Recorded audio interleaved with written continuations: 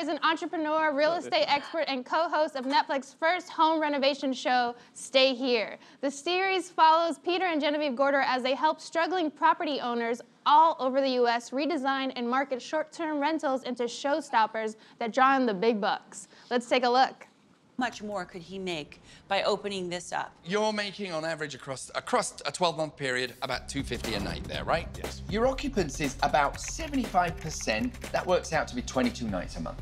Right. Five Okay. or six thousand a month you're pulling in from About that? five grand, six grand a month. Now, there is another property that's close to here, within quarter of a mile, that's an awesome Victorian townhouse that has a complete narrative. They're getting 375 and they are nowhere near as big as this. I think if you let us go to town on this place, We can double your rate and get you up to 500 a night. That's an increase of $66,000 a year. we love it. We want to go for it. Yeah. You in? I think that actually makes a lot of sense. I'm uh, really glad you guys are helping me with this. So let's do You're this. in? Let's do this. We got a deal. It's all in. Yeah. Everyone, please give a warm Build Brunch welcome to Peter Lorimer. Greetings. Greetings. Thanks for joining us. So this is Netflix's first home renovation show. Yep. How does it feel to be leading that? Well, uh, I would be lying if I didn't say it feels freaking fantastic to be uh, to be leading it. It's the first kind of foray into. Um, I guess it's a little bit travel, it's a little bit business, it's a little bit rehab, and it's a Netflix uh, original show, and they picked me, so I'm very very thrilled. I couldn't be happier. That's so cool. So what are some of the mistakes that people make when they go out of town and they're looking for a, a short-term stay? What are some of the things that they like just miss? Tips? You want tips? Yeah, I want some tips. Okay, I was hoping we might talk about nipple color a bit more, but Oh, uh, no. okay, well, you want to go Have you ever seen a British one? We're always happy to. Okay, Yeah, all did right. you Have ever you watched renovate? The Oh, the Tudors? Tudors be all nipple. Love the Tudors. That was the first show I watched as an adult as Oh, well. um, so, uh, what are the worst things people can do? You know, it's like my phrase is I, I'm never very politically correct, but like I always say this with people when they're going out of town: you pay peanuts, you get monkeys, right? Mm-hmm. So don't try and skimp. If you want to have a great experience, you got to pay for it, right? Don't look for the cheapest thing and and and the, the place that's, that is the least booked. If a place is really, really booked all the time, it means it's going to be a great property. Mm-hmm. And don't go too far off the beaten track. You know, you got to be near all the amenities. I mean, there's a million things, but but I think trying to do it on a budget. We all want to save money, but trying to do it on a super budget always ends in disaster. Why is the focus on the short-term rentals? In what way? I mean, why build a show around this? Is it because of Oh, the growth of things like yes. Airbnb and, and things like that? So Airbnb, which uh, originally literally started with uh, the two founders of Airbnb who had an air mattress in a bedroom to try and make money to pay their rent, which is now a multi-billion dollar company. Um, I think what it, this is why I find it exciting because I'm a real estate guy in LA. I'm a- I was a music business guy first and then a real estate guy. And it's kind of the new frontier. It's where we, the people, have the power, and you're not going through horrid middlemen like me, you know, real estate folks who, like, some of them can be a slippery bunch. And so I think the fact that it's gone from this kind of organically growing thing to a global multi billion dollar industry, and it's become very slick and sophisticated now, whereas before it was kind of, you know, a little bit rough around the edges. Yeah, totally. In this show, in Stay Here, you mentioned this before. You get to- it's also a travel show, which I think is so cool Yeah. and so different. And you call it the kind of the quintessential American experience. You go everywhere. What was your favorite place to visit? I knew you were going to say I know. or you. Well, it was popped New York. No. um, you know, they're all great for different reasons. I loved coming to New York because of the energy. Yeah. Love this city so much. Nobody in the audience will remember a nightclub called Save the Robots.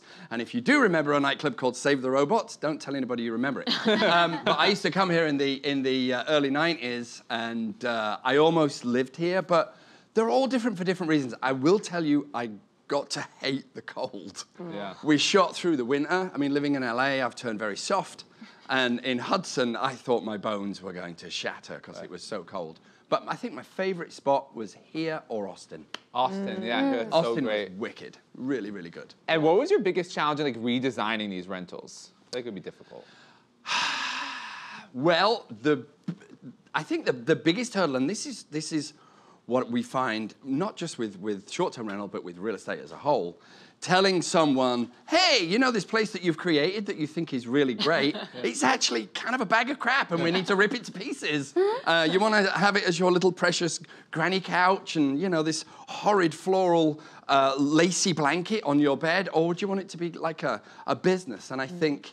I think that was what was uh, the most difficult part was literally watching these people's faces when I said, "I'm really sorry, but we have to we have to burn Granny's couch and put something in there that's a little bit more slick." Yeah. But it turns into a business, you know. That's And they're like, I have no idea why we're not making any money. It's I so good. And you're like, oh, because that couch is horrid. Nobody wants to sleep here. But um, Yes. you also you co-host the show with Yep. someone we all know from Trading Spaces, uh, Genevieve Gorder. What's Yes. it like working with her and doing the show with her? Jen was a doll. She was very kind, very generous. She's obviously, you know, been doing television a long time, and uh, she, I couldn't have hoped for a better co-host because we just vibed. And she's kind of a wild horse, and I'm a bit of a galloping wild horse as well.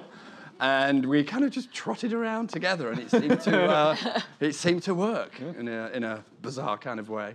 She's so much fun. Her design sensibility. I used to watch her in Trading Spaces, and the reboot I've watched her. Her design sensibilities are always really unique and Yeah, she's modern. Yeah. She's just got this, you know, she's got this.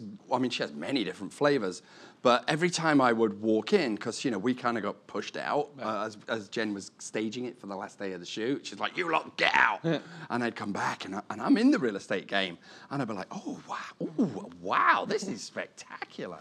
Yeah, she's she's a doll, very talented lady. Yeah, you mentioned um, some of the spaces needing that redesign. And what, uh, like, are some of your other tips for people that are looking to rent their property short term and how to find success in that space? Okay. So, one of the tips that I want to give the audience is this. If you ever find yourself going, hmm, will they notice that? They're going to notice it. So, every little detail, I'm going to, the three words for short term rental that are the best are clean, clean, clean. You will not believe some of the photographs I have seen and some of the residue I have seen in short term rentals in the bathroom, and it's just gross. So, the top tips are you got to uh, imagine somebody's flying like me. I'm flying into New York from London. I want to go to my place in Brooklyn. I don't know Brooklyn. I'm starving. I've got three screaming kids with me. I want to be able to open up the cupboards. There's going to be some snacks there. There's going to be some drinks. There's going to be some directions. There's going to be telling me about the local restaurants. Everything's going to be clean. Everything's going to be spelled out. I need Wi-Fi stickers everywhere.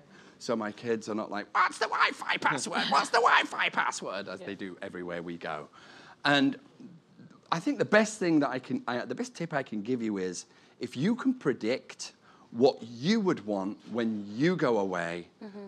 apply that to your own Airbnb or short-term rental. And the more you put in, don't skimp. The more you put in, it's like investing in a business, and you are the CEO of a small boutique hotel. Right. And that's the way to treat it. And the concierge, it sounds like. And a concierge. Yeah. And a handyman. Yeah. And, uh, you know, everything. What are some ways that those renters can maximize revenue, which is something I know you guys talk about? Yes. So um, there are certain things that people universally kind of find offensive, which are, you know, marigold walls and, you know, granny. I'm- I'm really hammering down on the grannies today. I'm so sorry. We sorry. get a lot of letters. You're like, no grandma, no grandma. letters, not comments. Letters. They write love us. grannies. love grannies to all the grannies out there. Um, so try and make things neutral sounds so kind of playing in the middle, but use cream sheets and nice whites. And don't like think, well, I love my stripy gold and pink wallpaper, because people are gonna hate it, right? And so um, make sure that the tones are great. Try and make it as contemporary as possible. Everybody loves going into the bathroom and there are lovely smellies, high quality soaps. It, you just get that squishy kind of Yeah, feeling, you know? feels good. How did you get into this space? Because you were a very successful music producer in the UK. Yes. So how does one transition into real real estate? I ran away. uh, so I was a, a house music record producer. Does anybody know what house music Yeah. is? Yeah. Ooch, ooch. Thank you. All right. I got you. Um, and then around turn of, God, this makes me sound so old. Around the turn of the century, I decided I wanted to grow up and do something else. And so I started investing into, into property in LA because I thought it was really cheap on the global stage. kind of had a knack for it. And then because I'm ex-music business, I had a ton of kind of A-list celebrity clients who I represented buying and selling, many of whom I used to do short-term rental on their properties, like in Malibu on the beach, renting it for 100 grand a month and this, that, and the other. And then one thing led to another, and my evolution in short-term rental was kind of in tandem with the evolution of Airbnb. So it was Good time. yummy. Yeah. Yeah, it was. That's so cool. I never thought about how those two industries would overlap, but the way you just described it, it seemed like a very natural transition roadmap. for you. yeah, definitely. Yeah, it was. It was. I don't know if it was natural. It was a case of when I retired from the music business, I had a number one in 12 countries, and I'm like, right, I'm done. Hung up the headphones, and all my mates were like, what are you doing? You're at the top, mate. And I just felt that MP3s were going to radically change the industry. So I took my winnings and started plowing it into other stuff, like property and Google and So it sounds like you have a knack for knowing what's the next big trend. is. Do you have any advice Yes. for us right now what we should be working What and investing should I be in? What right stocks? now? Uh, because you're really oh, God. getting the real estate before it explodes. You're leaving music before it falls. Like, wow. I did, and then and then before the market crashed, I sold my properties and put all the money into Google. Okay. Wow. What? Yeah. I will share share the Okay, tips. my crystal ball. My crystal ball. We find out you're like jailed tomorrow. Insider trading. Inside drink, yeah. You could be on a reality TV show about Yes. prisoners. Yeah. It's called Halfway You'd be House. great. yeah, right. Thank you. Okay, been in, a couple of those. No, no, not really. Um, so I think for stocks, I like tech stocks. I don't know anything about the other stuff, oil and all that. I feel that Google. God, I hope I don't ruin everybody's bank balances now. But I think Google is a safe bet. I think um, Amazon is a safe bet. Of course, Netflix. Load up on Netflix. Yeah. Um, and those are the big three that I go for. But I will say this. I will say this, and I'm not just saying this because I'm a real estate guy. Yeah. Get on the property ladder. My, are you allowed to swear on this show? Yeah. Yes. Oh, great! Fucking hell! Thank God. I felt like I was going to burst. um, You did really well though. Yeah, you did. yeah. So uh, my first house that I bought in LA, I bought in a shitty little neighborhood that everybody said you are mental for buying in that neighborhood. But it was like only 12 minutes from Sunset Strip. So I'm like, okay, this makes sense. And I bought it and I, it blossomed and I rolled that into some lofts and then I rolled it and I rolled it and I rolled it. But it hadn't, if I hadn't got on the bottom rung of the property ladder, I would I don't know if I, I mean, I probably would be in property, but, Yeah. but I'm saying if you guys, well, I want a place in the East Village. Well, you know, maybe buy one in New Jersey 1st Right. We'll let that blossom, commute in. You know, it's a, uh, real estate and short-term rentals, it's a long play. And the wealthiest people I know have their wealth locked up in real estate.